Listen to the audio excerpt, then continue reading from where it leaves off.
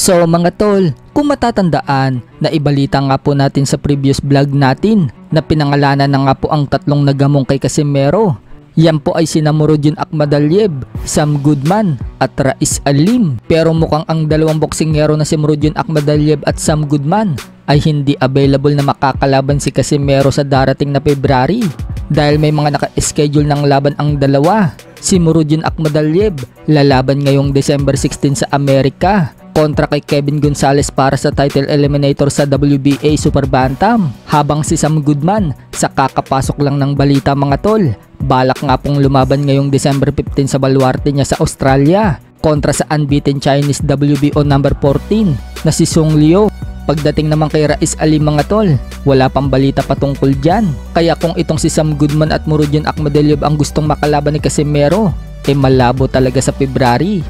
Pero pwede naman siguro mga tol sa ibang buwan. Yun nga lang, ang main target talaga ni Sam Goodman at Murodjan Akmadalyev ay makalaban ang mananalo kay Inoue versus Tapales. Pero malay natin mga tol, bilog ang mundo. Posible rin na mangyari yan na makalaban ni Casimero ang mga yan kung gugustuhin ng promoter. Sa kabilang banda naman mga tol, may laban nga po ang pambato natin sa featherweight division na si unbeaten 10-0 Leonard Sarcon.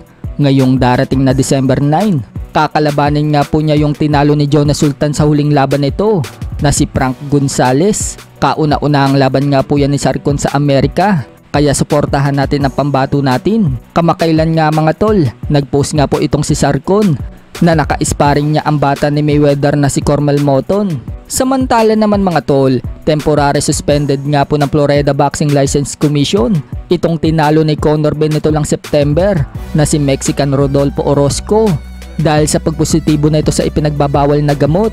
Kaya pala bugbog sarado na itong si Rodolfo Orozco eh hindi pa rin napapatumba ni Conor Ben. Yun pala, kargado pala ito. Sa kaparehong balita mga tol, dahil marami ang umiiwas sa new IBF Welterweight World Champion Jaron Inis E lakas loob nga pong hinamon ni Conor Ben itong si Ennis kung iniiwasan itong si Jaron Ennis sa welterweight para kay Conor Ben. Gustong gusto niya itong makalaban. So kakasahan kaya ni Jaron Ennis itong si Conor Ben? Ano sa tingin nyo mga tol?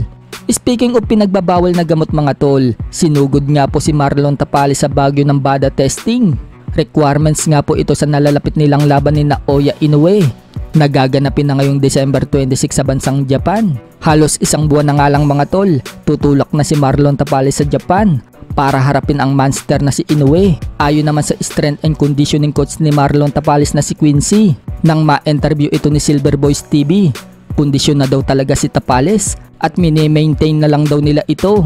Kapag napunta na daw sila sa Japan at lumaban, parang normal environment na lang daw ito para kay Tapales dahil sobrang lamig daw ngayon sa Baguio, kapareha sa bansang Japan. Excited na nga daw siya sa laban na yan. Isang linggo bago ang laban mga tol, nasa Japan na sila. Sa caption nga po ni Silver Boys TV, sinabing nga po niya dyan na Inoue is in trouble. Ibig sabihin, magkakaproblema itong si Inoue kapag nakaharap na si Tapales.